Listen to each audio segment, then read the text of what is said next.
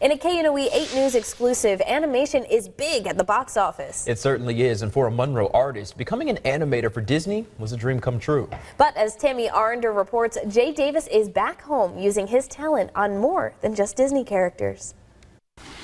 Jay Davis is an artist at heart. Davis grew up in Monroe, surrounded by the beautiful magnolia trees.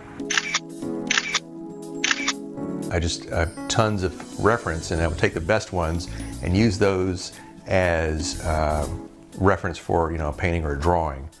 Before Davis moved home and started painting the beauty around him, he fulfilled a dream to become an animator for Disney. With a degree in architecture and a passion for drawing, there was a natural transition into the world of animation.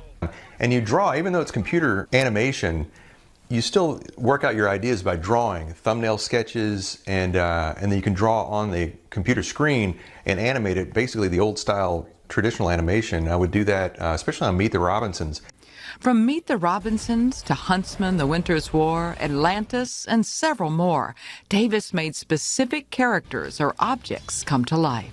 I was drawing this, you know, drawing the animation and then making the you know, the, the computer puppets do what I was drawing, so I'd get the performance um, by drawing it.